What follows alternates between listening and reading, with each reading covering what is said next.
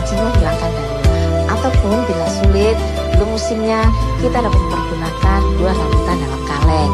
Kemudian di sini untuk membuat teh saya sudah menyiapkan air yang panas dan teh celup sari wangi asli.